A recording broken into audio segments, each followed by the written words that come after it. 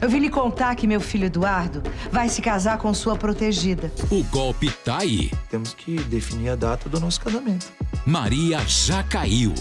Vou me casar, tá? Casar? Com quem?